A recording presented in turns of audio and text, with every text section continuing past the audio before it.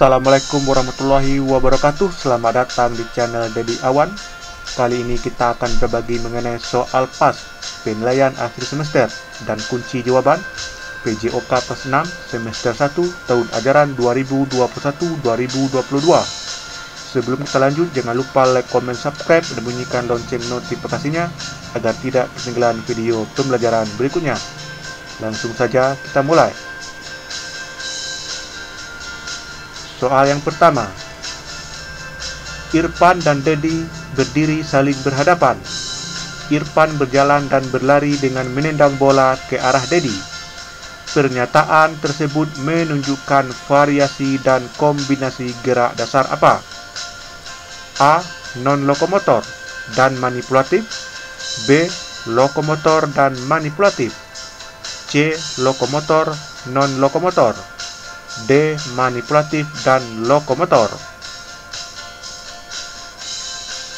Jawabannya benar adalah B. Lokomotor dan manipulatif. Langsung saja kita masuk soal nomor 2. Perhatikan gambar berikut. Perhatikan gambarnya. Setelah kita perhatikan gambar, dengar apa yang ditanya. Gerakan menendang Maksudnya gerakan menendang bola seperti pada gambar dilakukan untuk apa? A.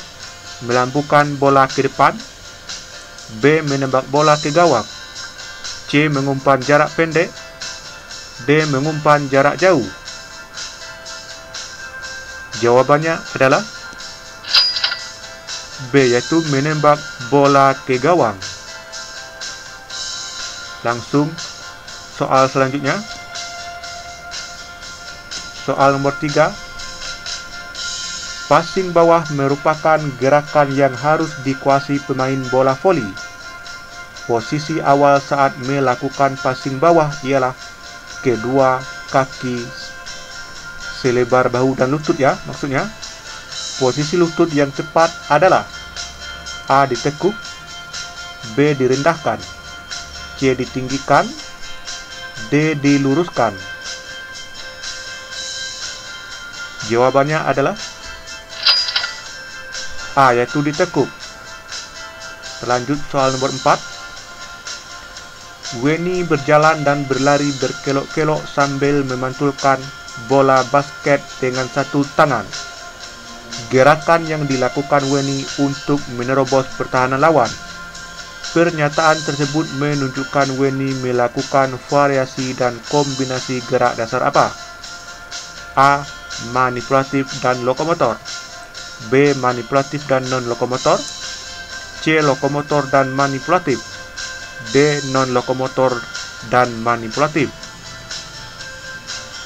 Jawaban yang benar adalah C. Itu lokomotor dan manipulatif Langsung saja kita masuk soal berikutnya Soal nomor 5 Perhatikan cara melempar bola basket berikut di sini ada enam caranya.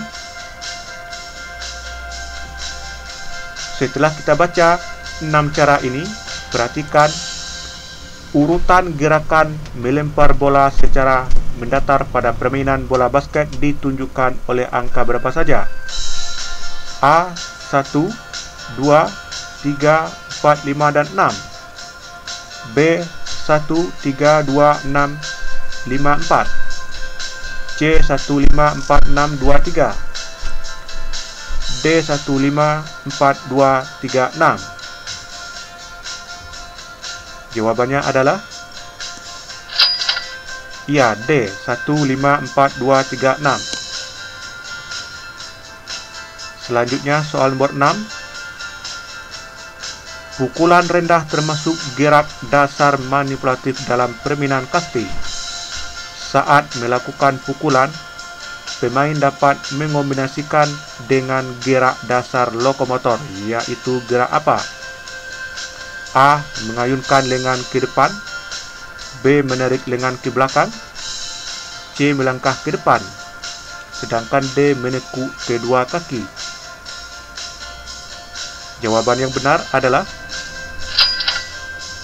C. Yaitu melangkah ke depan Lanjut soal nomor 7. Dalam permainan ronder, gerakan menangkap bola dilakukan dengan tiga cara. Salah satunya menangkap bola mendatar. Posisi kedua tangan pada saat menangkap bola mendatar adalah A. Diluruskan ke, ke atas B. Diluruskan ke depan C. Diletakkan di depan kaki Sedangkan D. Disejajarkan dengan dada Jawabannya adalah B yaitu diluruskan ke depan kita masuk soal nomor selanjutnya soal nomor 8 Dewi dan teman-temannya bermain ronder Dewi melakukan variasi gerak dasar manipulatif dengan kombinasi gerak dasar non-lokomotor yaitu apa? A. Melempar bola melambung dengan berjalan dan berlari ke depan B. Melempar bola melambung dengan berdiri dan mengayun lengan C. Memukul bola mendatar dengan melangkah dan berlari ke pos. D. Berjalan dan berlari dengan menangkap bola melambung. Jawaban antara A, B, C, dan D yang benar adalah B yaitu melempar bola melambung dengan berdiri dan mengayun lengan. Kita lanjut soal nomor 9. Siswa kelas 6 melakukan variasi dan kombinasi gerak dasar dalam aktivitas lompat. Bentuk variasi dan kombinasi gerak dasar yang tepat dalam lompat jauh adalah A. Lari dan maksudnya lari pelan dan lari cepat dengan kombinasi tol tolakan dan melayang. B. Melangkahkan dan berjalan maksudnya melangkah dan berjalan cepat dengan kombinasi melompat dan melayang. C. Lari pelan dan lari cepat dengan kombinasi lompat dan mendarat. Sedangkan D. Melangkah dan jalan cepat dengan kombinasi lompat dan mendatar. Jawaban yang benar adalah C. Yaitu lari pelan dan lari cepat dengan kombinasi lompat dan mendatar. Terlanjut soal nomor 10. Sikap tepat kuda-kuda tengah Maksudnya yang ditanya sikap tepat kuda-kuda tengah ditunjukkan oleh gambar apa? Apakah A, B, C, D? Yang ditanya sikap tepat kuda-kuda tengah. Gambar yang paling tepat adalah C. Kita lanjut soal nomor 11 lintasan lari halang rintang memiliki empat halangan di, lintasan dengan jarak sejauh 40 meter. Jarak jarak tiap-tiap halangan dalam lintasan lari halang rintang adalah A 5 meter, B 5,5 meter, C 6 meter, D 6,5 meter. Jawabannya benar adalah D yaitu 6,5 meter. Kita lanjut soal nomor 12. Siswa kelas 6 melakukan aktivitas SOR Run Up Lem Jam. Nilai akhir SOR Run Up Lem Jam diperoleh dari A. Waktu anggota regu yang terakhir melakukan gerakan B. Hasil penjumlahan waktu seluruh anggota regu C. Waktu anggota regu yang paling cepat melakukan gerakan D. Hasil penjumlahan waktu tertinggi dan terendah anggota regu Jawabannya adalah B. Yaitu hasil penjumlahan waktu seluruh anggota regu Lanjut soal nomor 13 Kangkang merupakan salah satu sikap dalam pencak silat Kangkang merupakan sikap dasar untuk melakukan apa? A. Sikap kuda-kuda B. Bantingan C. Serangan D. Elakan Jawabannya adalah A. Yaitu sikap kuda-kuda Terlanjut soal nomor 14 Ardi melakukan aktivitas sprint Maksudnya kita ulang Ardi melakukan aktivitas sprint relay Bersama teman-temannya Dalam aktivitas ini, Ardi melakukan variasi dan kombinasi gerak dasar apa? A. Lari pelan dan lari cepat dengan kombinasi lompat B. Lari pelan dan lari cepat dengan kombinasi melempar C. Jalan maju dan mundur dengan kombinasi lompat rintangan Sedangkan D. Jalan maju dan mundur dengan kombinasi lari jarak pendek Jawaban yang tepat adalah D. Itu jalan maju dan mundur dengan kombinasi lari jarak pendek Kita masuk soal berikutnya Soal nomor 15. Perhatikan langkah-langkah berikut. Di sini ada tiga langkah. Satu, berdiri tegak pada titik tengah penjuru mata angin. Dua, melangkahkan salah satu kaki ke depan dengan cara sedikit silang.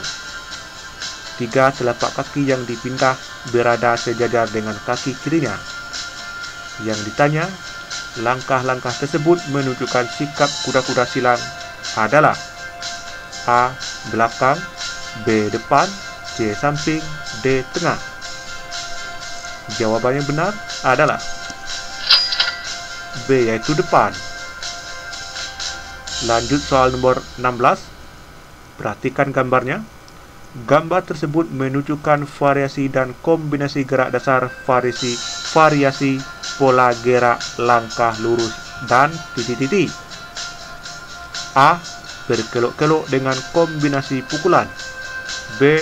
Huruf U dengan kombinasi pukulan C. Huruf U dengan kombinasi elakan tangan D. Berkelok-kelok dengan kombinasi tangkisan tangan Sesuai yang terlihat pada gambar Jawabannya adalah D. Itu berkelok-kelok dengan kombinasi tangkisan tangan Kita lanjut soal nomor 17 bagian dari kebugaran jasmani menentukan kemampuan otot untuk berkontraksi dan menahan badan beban tubuh adalah saya ulangi soalnya bagian dari kebugaran jasmani yang menentukan kemampuan otot untuk berkontraksi dan menahan beban tubuh adalah A. Kekuatan B. Kelentukan C. Kecepatan D. Kelincahan Jawaban yang benar adalah A yaitu kekuatan. Kita lanjut soal nomor 18. Perhatikan gerakan dalam aktivitas kebugaran jasmani berikut. Di sini ada empat. Satu, berdiri tegak, kaki dibuka selebar bahu. Dua, dorong kedua tangan melurus ke depan dengan jari-jari silang berkait. Tiga, dorong kedua tangan lurus ke atas dengan jari-jari silang berkait. 4. Dorong kedua tangan lurus ke belakang dengan jari-jari saling berkait. Yang ditanya adalah, urutan gerakan peregangan otot lengan yang tepat terdapat pada angka berapa saja? A. 1, 2, 3, dan 4 B. 1, 2, 4, dan 3 C. 1, 3, 2, dan 4 Sedangkan D. 1, 4, 3, 2 Yang benar adalah C yaitu 1, 3, 2, dan 4 Kita lanjut soal berikut 19 Peregangan otot dan pelemasan sendi merupakan bagian dalam aktivitas kebugaran jasmani Peregangan otot dan pelemasan jasmani Maksudnya peregangan otot dan pelemasan sendi bermanfaat untuk melatih apa? A. Kelincahan dan kelenturan tubuh B. Kelenturan dan kelentukan tubuh C. Kekuatan dan kelentukan tubuh Sedangkan D. Kekuatan dan kelincahan tubuh Jawabannya benar adalah B. Yaitu kelenturan dan kelentukan tubuh Terlanjut soal nomor 20 Perhatikan gambar berikut Setelah kita perhatikan gambar Perhatikan lagi apa yang ditanya Gerakan seperti gambar berguna untuk melatih otot apa?